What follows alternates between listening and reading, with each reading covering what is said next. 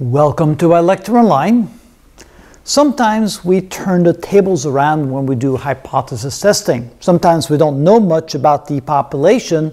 We're trying to infer some information about the population by taking a random sample. So the idea then becomes we take a sample, we get the mean of the sample, and then we ask the question what can we infer about the population based upon what we found about the sample. So, well, let's see. What kind of things could we look about, uh, think about? Well, first of all, we can do what we call a point estimate. Since we don't know anything else, we have no idea what the population mean is, we can simply say, well, we're going to let the population mean equal the sample mean. Now, of course, from what we've seen in the previous videos in this set, that's not always a good idea because seldom does the sample mean equal the population mean. What we could, of course, estimate is or say is that it's probably close, probably, and the larger the sample size, the more likely it is to represent the something close to the mean of the population. But in almost all cases, they're not going to be the same. We can simply say they might be somewhat close. At least it gives us some sort of idea about the population mean by saying, let's just call it equal to the sample mean. A better thing probably to do is to take what we call an interval estimate. Based upon the sample mean, we can assume that the population mean will fall somewhere between some range of values. Because, after all, the sample mean could have been much less than the population mean, or it could have been quite a bit more than the population mean. So, we can probably say that it gives us a range of values that we can assume the population mean to be.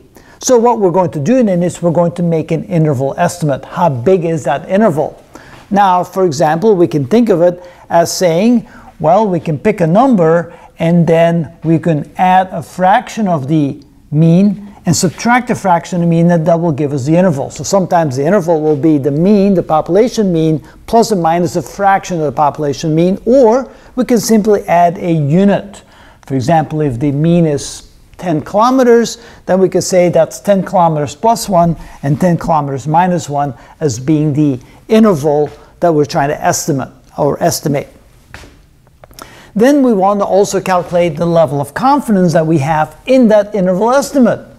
Do we have a large confidence level or a small confidence level? Well, obviously, the greater you make the interval estimate, the more confidence you have that the real value is somewhere in that estimate. The smaller you make your interval estimate, the less probability and the less confidence you have that you found the range that the population mean could fall into. And so therefore you can think of having a large confidence interval or small confidence interval. The smaller you make the interval, well, the less chance you have that the real value will fall in that interval.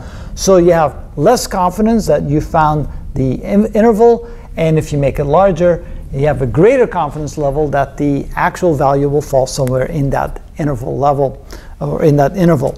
So that's the basic principle that we're going to use to come up with the inference technique. We're going to take a sample and we're going to try to infer something about the population. So that's what you're going to see in the videos to come.